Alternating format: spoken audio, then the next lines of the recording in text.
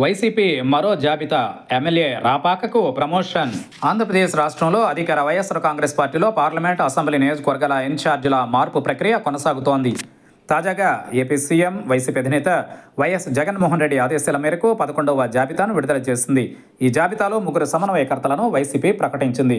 Kurnool parliament ఇన్ఛార్జిగా by Ramaiah Amalapuram parliament సమన్వయకర్తగా Rapaka Varaprasad Razole assembly నియోజకవర్గం ఇన్ఛార్జిగా గొల్లపల్లి సూర్యారావును నియమించినట్లు వైసీపీ కేంద్ర కార్యాలయం ఓ ప్రకటన విడుదల చేసింది. కాగా ఇప్పటి వరకు విడుదలైన పదకొండు జాబితాలలో డెబ్బై ఐదు అసెంబ్లీ స్థానాలకు ఇరవై మూడు పార్లమెంట్ స్థానాలకు ఇన్ఛార్జీలను నియమించింది YCP.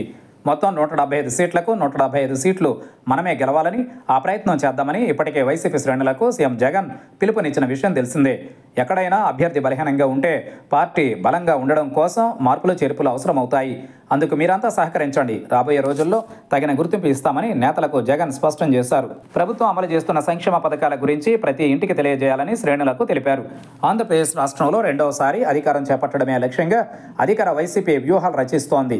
Why not one seventy five నినాదంతో ముందుకు వెళుతున్న AP CM YS Jaganmohan Reddy రాష్ట్రంలో ఇప్పుడున్న సిట్టింగ్ ఎమ్మెల్యే ఎంపీల పనితీరుపై పలు సంస్థలతో సర్వేలు నిర్వహించారు.